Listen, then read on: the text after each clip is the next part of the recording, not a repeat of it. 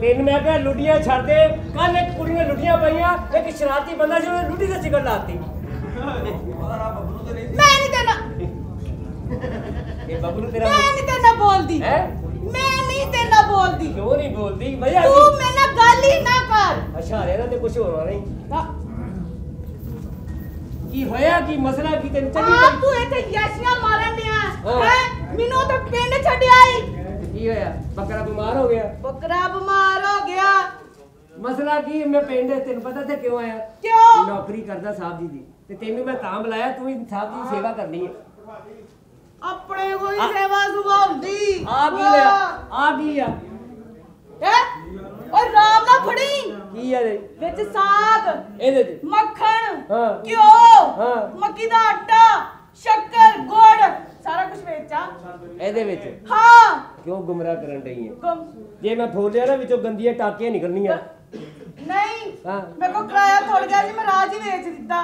ਮੇਰੀ ਅਮਾਨਤ ਵੇਚ ਆਈ ਹੈ ਜਾ ਹੁਣ ਮੈਂ ਤੇਰੇ ਨਾਲ ਵਿਆਹ ਨਹੀਂ ਕਰਨਾ? ਕਿਹੜੀ ਅਮਾਨਤ ਵੇ? ਤੇਰਾ ਮਸਲਾ ਕੀ ਆ? ਡਾਂਗ ਰੱਖੀ ਹੈ? ਤੈਨੂੰ ਕਬਜ ਰਹਿੰਦੀ ਹੈ ਕ- ਨਹੀਂ ਤੁਹਾਡੀ ਖਾਨਦਾਨੀ।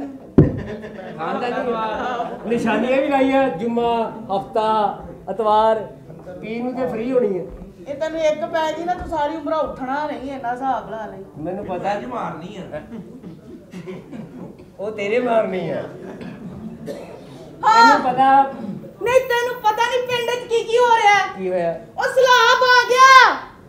ਉਹ ਗਵਾਂਢੀਆਂ ਦੇ ਮਕਾਨ ਵੀ ਰੁੜ ਕੇ ਨਾਲ ਆ ਗਏ। ਸਾਰੇ ਰੁੜ ਗਏ ਤੁਹਾਡੇ ਘਰ ਪਾਣੀ ਪਾਣੀ ਹੋ ਗਿਆ। ਫਿਰ? ਫਿਰ ਤੇਰੀ ਮਾਂ ਨੇ ਛੱਤ ਤੇ ਚੜ ਕੇ ਆਵਾਜ਼ ਲਾਈ। ਕੀ? ਕੋਈ ਹੈ ਅੱਲਾ ਦਾ ਬੰਦਾ ਜਿਹੜਾ ਆ ਕੇ ਪਾਣੀ ਕੱਢੇ?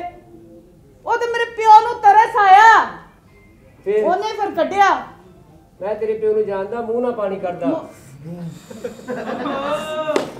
ਮਾਰ ਜਾਣ ਜੋ ਗਿਆ ਬਾਲਟੀਆਂ ਨਾਲ ਕੱਢਿਆ ਸੀ। ਅੱਛਾ ਬਾਲਟੀਆਂ ਨਾਲ? ਹਾਂ। ਇਹ ਪਾਣੀ ਦੀ ਕਦਰ ਕਰਨੀ ਚਾਹੀਦੀ ਆ। ਪਾਣੀ ਦੀ ਕਦਰ ਉੱਥੇ ਜਾ ਕੇ ਪਤਾ ਕਰ ਜਿੱਥੇ ਪਾਣੀ ਕਤਰਾ ਕਤਰਾ ਜਮਾ ਹੁੰਦਾ। ਫਿਰ? ਨਹੀਂ ਪਤਾ ਤੈਨੂੰ? ਨਹੀਂ। ਏਡੀ ਵੀ ਨਹੀਂ ਮਾਸੂਮ ਤੂੰ।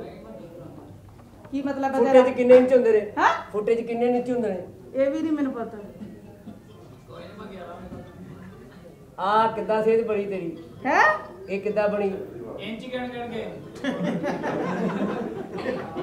ਤੇਰੀ ਡੈਫੀਨੇਸ਼ਨ ਦੇ ਸਦਕੇ ਜਾਵਾ ਉਹ ਚਨੇ ਉਹ ਟੰਬੀਆਂ ਵਾਲਾ ਦਰਖਤ ਨਹੀਂ ਸੀ ਲੱਗਾ ਜਿਹੜਾ। ਉਹ ਸਾਰੀਆਂ ਅੰਬੀਆਂ ਮੈਂ ਹੀ ਧਮਕਾਈਆਂ। ਅੰਬੀਆਂ ਚੂਸਦੀ ਰਹੀ ਹੈ ਹਾਂ। ਜੇ ਤੇਰੇ ਕੋਲੋਂ ਅੰਬੀਆਂ ਇੰਤਕਾਮ ਲੈਣ ਹਾਂ। ਬੰਦਿਆਂ ਦੀ ਸ਼ਕਲ 'ਚ ਹਾਂ। ਵਾਰੀ ਦੇਗੀ ਨਹੀਂ। ਤੇ ਫਿਰ ਕੀ ਫਾਇਦਾ ਇਸ ਪਿੰਡੇ ਦਾ? ਕਿਉਂ? ਆ ਗੋਸ਼ਤ ਕਿੰਨੇ ਦਾ ਕਿਲੋ ਆ? 1200 ਨੂੰ। ਤੇ ਤੂੰ ਇੰਡੀ ਕੁ ਬੋਟੀ ਦਾ 10000 ਕਾਹਦਾ ਮੰਗਦੀ ਹੈ ਤੇ ਕੋਈ ਹਾਲ ਕਿਉਂ ਝੂਠ ਬੋਲਣ ਡਿਆ? ਇੰਨੀ ਮਹਿੰਗਾਈ ਦੇ ਵਿੱਚ ਜਾਣਦੇ ਹੋ ਆਮ ਰੁਟੀਨ ਵਾਲੀ ਗੱਲ ਕਰੋ। ਰਾਤੀ ਮੇਰੇ ਖਾਬ ਚ ਆਏ। ਆਪਾਂ ਵੱਟੋ ਵੱਟ ਟੁਰੇ ਜਾ ਰਹੇ ਆ। ਫਿਰ? ਅੱਗੇ ਲੰਮਾ ਲੰਮਾ ਕਮਾਦ ਆ ਗਿਆ। ਫਿਰ? ਆਪਾਂ ਉਹਦੇ ਵਿੱਚ ਵੜ ਗਏ ਫਿਰ? ਤੂੰ ਵੀ ਤੇ ਦੱਸ ਤੂੰ ਵੀ ਤੇ ਨਾਲ ਹੀ ਸੇ ਤੂੰ ਵੀ ਰੱਜ ਮੇਰੀ ਖਾਬ ਚ ਆਇਆ ਸੀ। ਬਹੁਤਾ ਨੁਕਸਾਨ ਤੇ ਨਹੀਂ ਹੋਇਆ। ਹੋ ਜਾਂਦਾ ਨਾ ਖਾਬ ਚ ਕੀ ਪਤਾ ਲੱਗਦਾ ਫਸੀ ਆ ਜਵੇ। ਨਹੀਂ ਤੂੰ ਵੀ ਮੇਰੀ ਖਾਬ ਚ ਆਇਆ ਸੀ ਚਿੱਟੇ ਰੰਗ ਦਾ ਸੂਟ ਪਾਇਆ ਹੋਇਆ ਸੀ। ਅੱਛਾ। ਫੁੱਲਾਂ ਦਾ ਹਾਰ ਤੇਰੇ ਗਲ ਚ ਸੀ। ਸਿਧਾਦੀ ਤੇਰੇ ਨੱਕ ਚ ਰੂ ਤੇਰੇ ਕੰਨਾਂ ਚ ਰੂ ਤੇ ਦੋ ਬੰਦੇ ਇੱਧਰ ਤੇ ਦੋ ਇੱਧਰ ਤੇ ਬਸ ਇੱਕੋ ਹੀ ਗੱਲ ਕਹਿੰਦੇ ਸੀ। ਕੀ? ਕਲਮਾ ਸ਼ਹਾਦਤ ਤੂੰ ਵੀ ਮੇਰੀ ਖਾਬ ਚ ਆਈ ਨਾ ਤੇਰੇ ਕੰਨਾਂ 'ਚ ਰੂਹ ਸੀ ਨਾ ਤੇਰੀਆਂ ਨਾਸਾਂ 'ਚ ਰੂਹ ਸੀ। ਇੰਨਾ ਬੜਾ ਅੱਚ ਫੜਿਆ ਸੀ।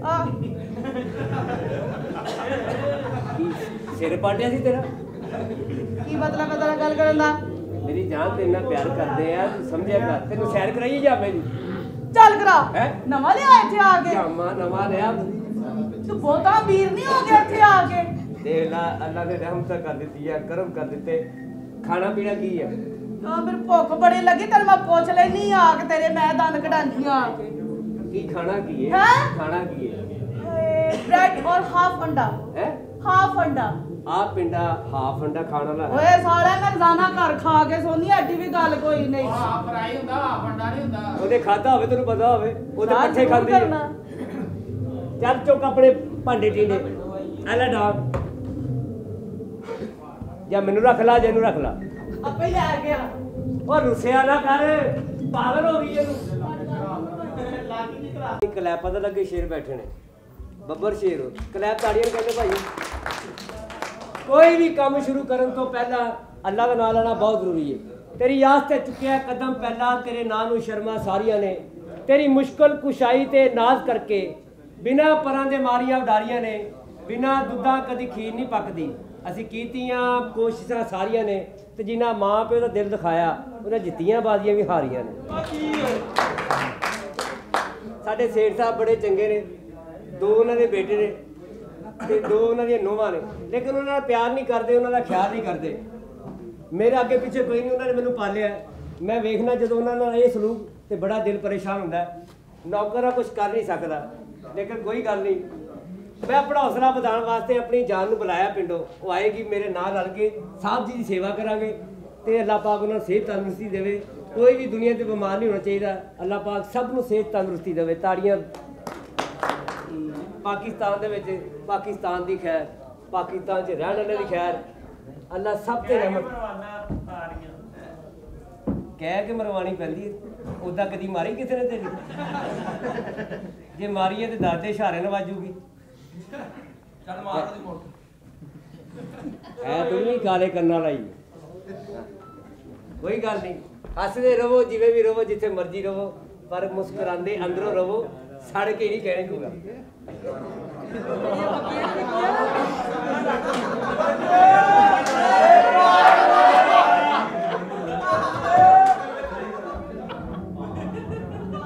ਇੱਕ ਵਿਆਗਰਾ ਦੇ ਹੀ ਇਹ ਕੌਣ ਹੈ ਜੀ ਮੈਂ ਇੱਕ ਵਿਆਗਰਾ ਦੇ ਹੀ ਤੁਸੀਂ ਡਾਕਟਰ? ਸੇਠ ਸਾਹਿਬ ਨੂੰ ਮਿਲਣ ਵਾਸਤੇ ਸੇਠ ਸਾਹਿਬ ਬਚਨ ਨੇ ਅੰਦਰ ਜਾ ਕੇ ਚੈੱਕ ਕਰ ਦਵਾਈ ਦੇਣਾ ਨਾਲ ਵੀ ਠੀਕ ਹੋ ਜਾਣ। ਸੇਠ ਸਾਹਿਬ ਤੋਂ ਇਲਾਵਾ ਮੇਰਾ ਦੁਨੀਆ ਤੇ ਕੋਈ ਵੀ ਨਹੀਂ ਹੈ।